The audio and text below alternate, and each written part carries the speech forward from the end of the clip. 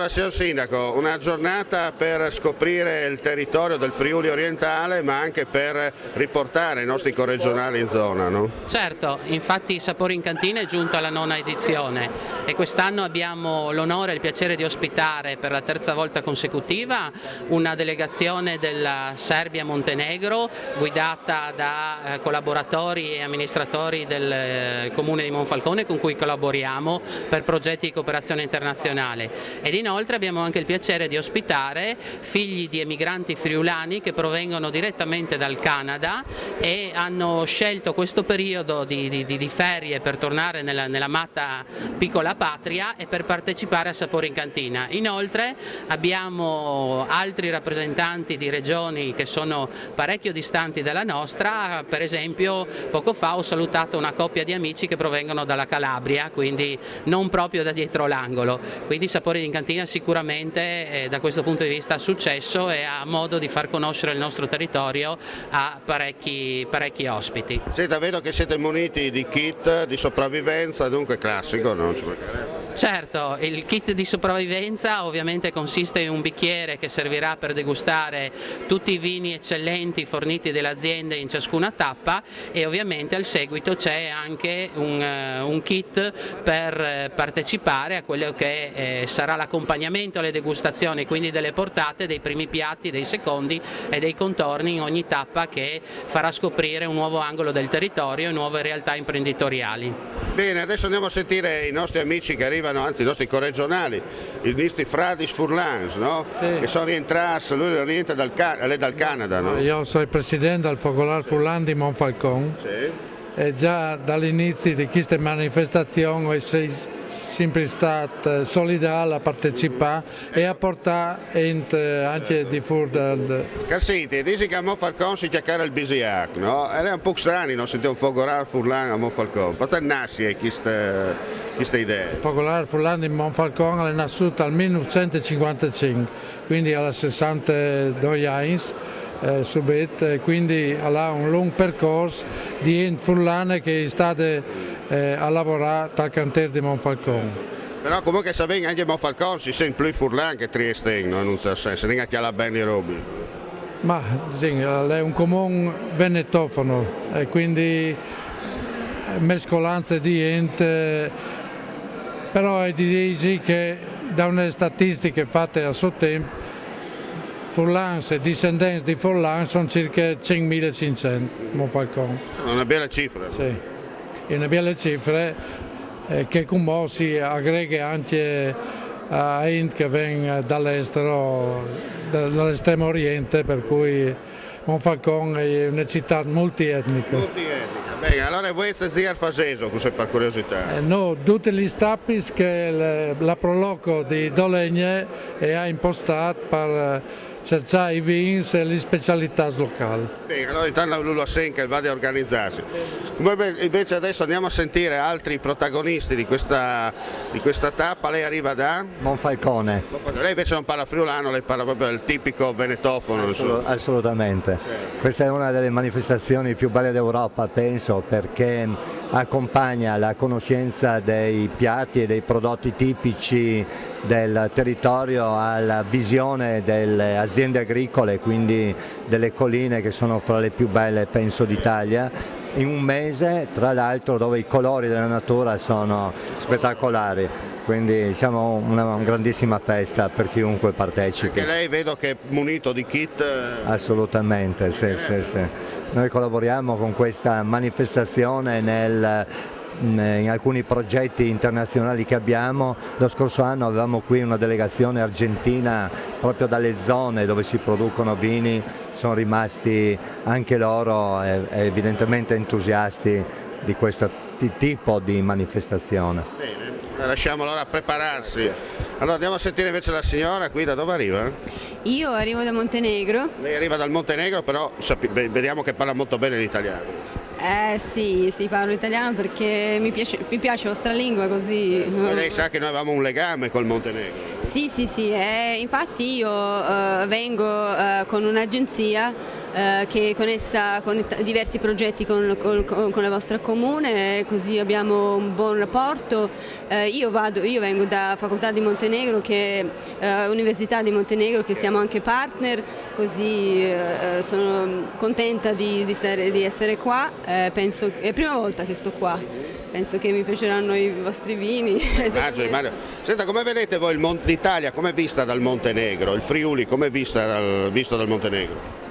Eh, I, Monteneg eh, montenegrini piace l'Italia tanto, eh, la visitano, eh, mh, mm, eh, storia di Italia è affascinante, così ci, pi ci, piace tutta, ci piace tutta. Bene, ah. allora la lasciamo a degustare e a passare questa bella giornata. Sì, sì, sì grazie, grazie. Bene, grazie. Giornata multiterritoriale per quanto riguarda questo evento, ad esempio lei signora col marito immagino arriva dalla Calabria. Sì, siamo... Che zona della Calabria? Nel Crotonese. Nel Crotonese. Eh, perché abbiamo un amico qua che abbiamo rivisto dopo 40 anni certo. e quindi ci ha accompagnato in questo giro.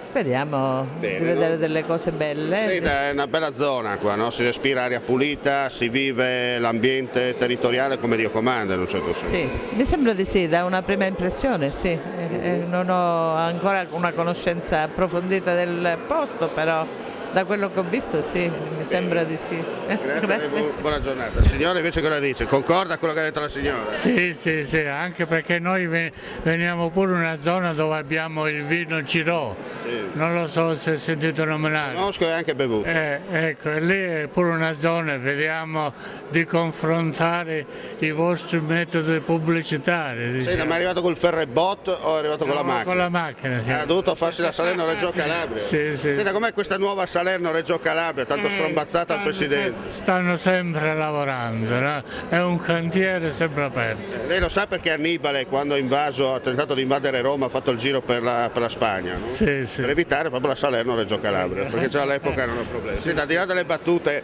com'è una bella giornata di sole, un po' sì. questa italianità no? che troppo spesso a volte viene usata solo per le partite della nazionale di calcio, invece si può dimostrare che gli italiani ci sono ancora. No? Certo, certo, certo. certo ho visto una bella zona e mi piace molto, devo dire la verità. Bene, è la prima volta comunque che dico... Sì, è la prima volta che... Bene, allora la lasciamo, vedo che anche lei si è munito sì, di kit e buona giornata, grazie. grazie. Allora, abbiamo rintracciato i nostri due corregionali, arrivano da Toronto, dal Canada, però in particolare la, la signora eh, Birna, ecco lei è originaria, ricordiamo, di Pordenone, no? Genitori italiani, io sono seconda generazione, adesso siamo tutti a Toronto, veniamo qua ogni tanto provincia di Pordenone? A, a, a Zano Decimo. A Zano Decimo. Sì. sì. Nel 1959 suo papà e sua mamma si sono, sono trasferiti. Emigrati, sì. sì. E adesso ogni tanto veniamo, facciamo delle visite, abbiamo visto via internet che fanno questi sapori in cantina, abbiamo deciso una cosa bella in questa zona, molto bellissima, abbiamo chiamato e adesso ci troviamo. Senta, come, come si vive in questo periodo in Canada? Voi italiani, anzi voi friulani, come vedete il Friuli dal, dal Canada? Um, dire la verità, noi sappiamo solo quello che, che si vede sulla televisione, eh, però quando noi veniamo qua vediamo che la gente vive molto bene vanno fuori, si divertono, si vivono molto molto bene. Mangiano bene. Mangiano bene, quello è l'importante. Invece lei è originario anche lei dell'Italia, del Friuli? Sono nato in Toronto, i miei genitori sono da Campania e Frosinone. È una zona dunque addirittura da, tra la ciocceria e la Campania? Sì, sì, mia mamma 10 minuti da Cassino, mio padre da provincia di Avellino. -huh. E io sono nato in Toronto. Uh, quanti anni fa sono trasferiti i suoi genitori? 1954 e 55 per mia, mio padre. Sì. Insomma, quindi vi siete conosciuti e avete continuato a mantenere in vita almeno la tradizione italiana? Sì, più possibile veniamo a trovare famiglie che ancora si trovano qua. E la zona è meravigliosa, ci piace molto. Bene, allora buon divertimento e eh, come si dice alle nostre parti, mandi. mandi. mandi. Grazie. Grazie. Grazie. Ciao. Per il secondo blitz eh, ci siamo spostati a Cormons, oggi è giornata dedicata a Io non rischio per quanto riguarda questa campagna promossa dalla protezione civile in Friuli Venezia Giulia.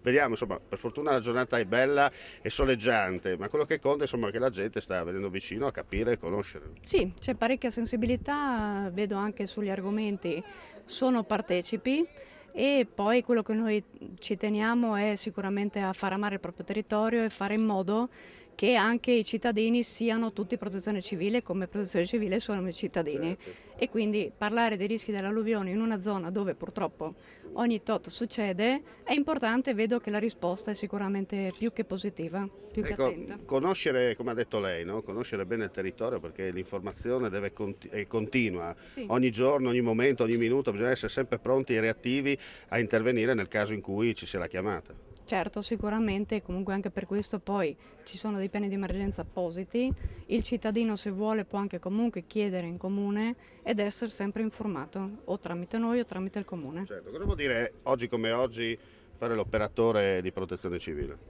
Perché più che volontari voi siete degli operatori veri e propri. Beh, quello che mm, è importante, quello che vorremmo fare è cominciare a sensibilizzare, a cambiare un po' la mentalità, tornare un po' come era una volta. Una volta era la nonna che puliva il marciapiede fuori e, e, e quindi tornare a questo. Se c'è un tombino... senso civico. Esatto, se c'è un tombino sporco non far finta di niente e vedere che in quel tombino può cadere qualcuno dei miei anche. Ecco, possiamo dire che la protezione civile in un certo senso era nata anche a livello locale quasi per un non sapere cosa fare, no? invece negli ultimi anni si sta sempre più potenziando sul territorio. Molti Questo... giovani vediamo, no? Sì, questa è una cosa molto importante, anche qua nel gruppo sicuramente ci sono molti giovani ed è una cosa importante perché gli stessi giovani poi portano altri giovani ed è un'opera di sensibilizzazione notevole, perché un conto è che lo fa una persona di 50 anni, un conto invece altri giovani che vedono altri ventenni che entrano, gli viene voglia anche di certo. intervenire. Bene, buon lavoro. Bene. Grazie anche a lei.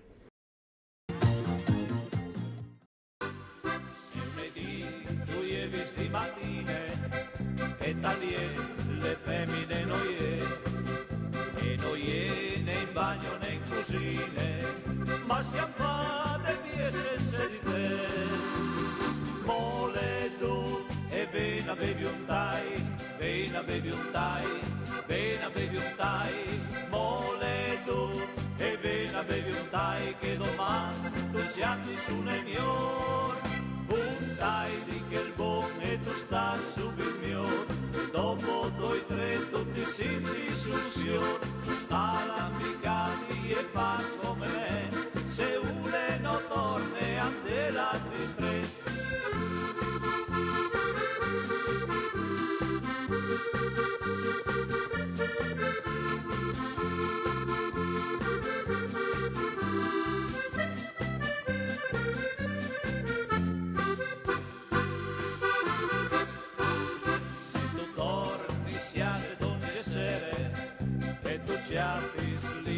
la metà.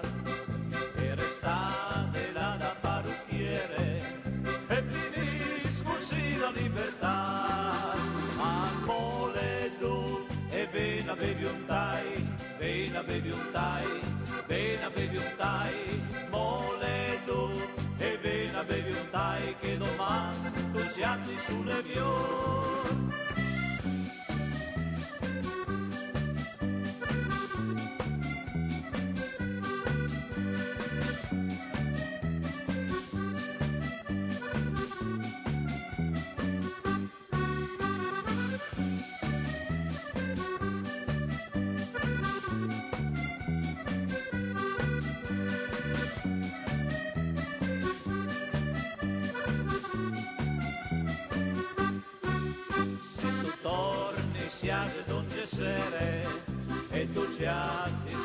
la tua metà in estate